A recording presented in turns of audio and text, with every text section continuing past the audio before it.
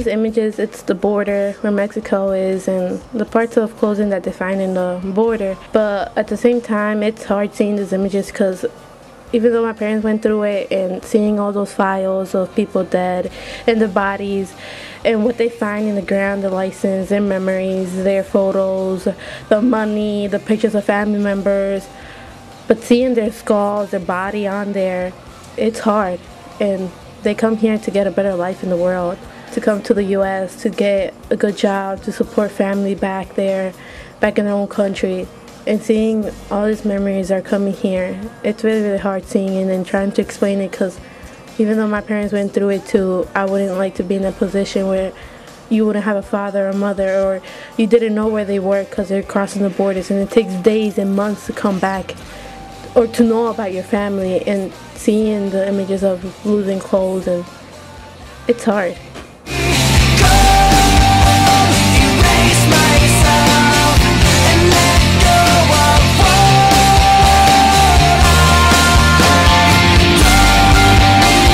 What Arizona got wrong. Once upon a time, some lawmakers there decided that the state had a problem with illegal immigrants, most of whom are Hispanic. So they drafted a sweeping law that wound up inconveniencing, singling out, and putting second-class citizenship upon all Hispanics, including those who were born in the U.S. They are the real injured party in the Arizona drama. It is decision on Arizona's immigration law this week. The Supreme Court almost set things right. In a split decision, put Coming home,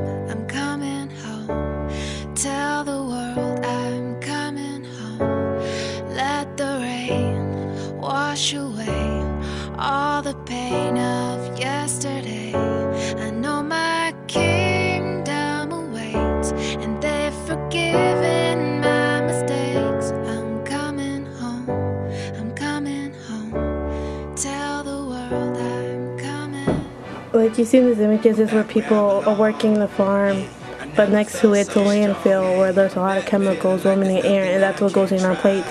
But a lot of people don't know about that. But as you see in these images, it, it's New York. That's where all the people come, and that's where most of the Spanish people come here to New York because they want to live the American dream. They want to be here because they've seen in videos and YouTube and Facebook how it looks here and people think it's easy to get here but it's really not it's hard to come to this country and work in mcdonald's and wendy's outside landscaping and construction and that's where we come from that's that's that's a part of life and part of our job that we had to come and work here as waiters as cashiers as anything but to give back our money back to our country like I said, I'm Ecuadorian. I'm proud to be Ecuadorian. I'm proud to be race. But at the same time, they don't leave their culture behind. And that's what in Queens we have Ecuadorian festivals, as you see in these images. That's where we were. That's my culture, and that's how we do. That's how we bring back our culture back to the U.S. To not forget our roots where we came from, and to bring back our memories, and that someday we'll go back I think immigration isn't fair for a lot of people because they don't get the same respect as everyone else. They can't get good jobs or anything that people do with papers. That people don't have a lot of opportunities that you get when you have papers. Here here's one thing that hurts us more was that people cross the border to get a better life. Some are raped, some get killed, some even get kidnapped and how they have to suffer a lot. They go through a lot of things in life. As you see, here's New York, Times Square, and that's where a lot of people come. That's where a lot of people, Spanish people, come more. Ecuadorians, Guatemalans, Mexicans, all around the world, Latinos, Chinese, Japanese, all around. They come and immigrate to the U.S. every year, every day, every every month. There's people immigrating here to this country, and just knowing that you stepped New York here, it's it's hard.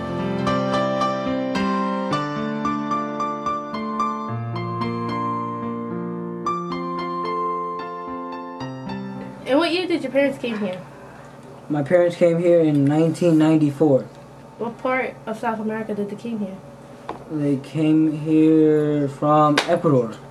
Why did they came here? They came here for a better job opportunity. How do you feel that your parents are immigrants? Uh, I feel kind of sad sometimes because they don't have the same possibilities as others. But at the same time, it helps me because um, makes me feel like a How do you feel that other kids get affected by this? well since um, immigration deports certain family members. Um, they the families would be um, separated from each other, meaning that the kids would either have to go with their parents back to their home country where they they can't be supported well because there's not a lot of jobs, and also if they do stay here, they either either have to go to a foster home where they they might be treated wrong and basically separated from their family members with who they've uh, been seeing for all these years. How would you feel if you were in that position? If one of your parents were being deported back to Ecuador? Um, I would feel really sad because I'm, I've lived with my mom and dad for so many years, and I think that's just uh, discrimination against the people that have, have come here for good and not for bad. What is one thing that you would like to that immigration would change? One of the things that you would love to change? Um, thing that I would love to change is that they would start checking the people's background and giving them actually citizenship because most of the people that come here come here for good while others come here for bad but there's mostly good people that come here for for job opportunity and a better So life you've been a guest in your own home. It's time to make your house your own. Pick up the phone. Pick up the phone.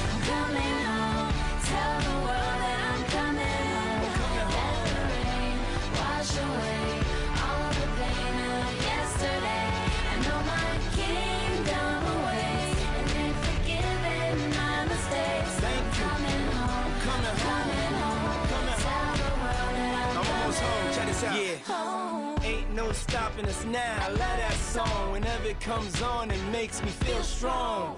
I thought I told you that we won't stop till we back cruising through Harlem. These old blocks is what made me, saved me, drove me crazy, drove me away, Tenemos un estudiante aquí que es de la Highston High School y es inmigrante. Mi nombre es Marco Panamá y soy inmigrante. A trabajar en McDonald's, trabajo de, de limpieza y eso es todo. Y vine desde los 14 años hasta acá. ¿En qué año viniste del Ecuador? Mm, Vine en el año 2008. ¿Cuántos años tienes? Ahorita tengo 20 años y sigo trabajando sin papeles, sin, como inmigrante. ¿Cómo te sientes ser inmigrante? Ah, se siente algo, mm, algo terrible porque no se puede conseguir buenos trabajos. ¿Desearías tener papeles? Eh, sí, desearía tener papeles para poder tener un buen trabajo y poder seguir ¿Cómo te estudiando. sentirías si no vas tú a la universidad? Ah, me sentiría mal porque no puedo seguir en los sueños que deseo. ¿Cómo te sentiste cuando tú pisaste aquí en la high school y no sabías hablar inglés? Me sentí como un niño chiquito que estaba recién aprendiendo a hablar.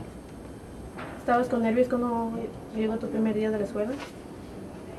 Sí, mi primer día de clases fue puros nervios y sin entender nada de inglés. ¿Qué es lo que no te gustó de aquí, de la school? Que fue un diferente lenguaje que no pude entender. ¿Qué es lo que quisieras cambiar algo de inmigración o qué quisieras que, que te apoyaran aquí en algo?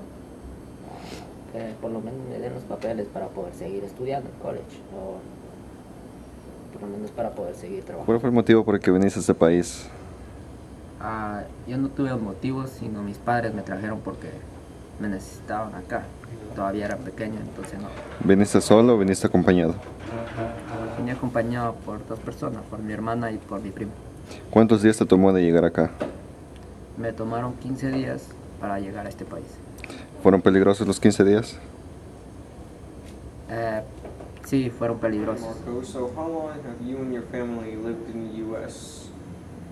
Ah, yo y mi familia estamos viviendo diferente. Mi padre vino primero y mi mamá después. Y, y nosotros vinimos con mi hermana después, en cuatro años. Ya llevamos seis años ahora viviendo aquí en este país. have any members of family outside of the U.S.? Ah, sí, tengo mucha familia que vive fuera de este país.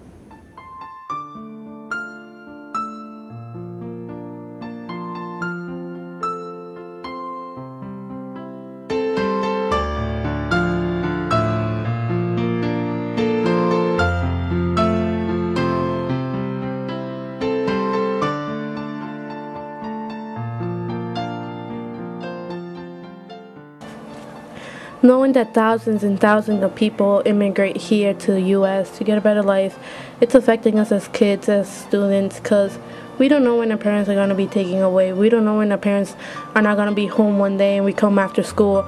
We don't know that. The only person who knows is God, and God's the one who's in charge of us now.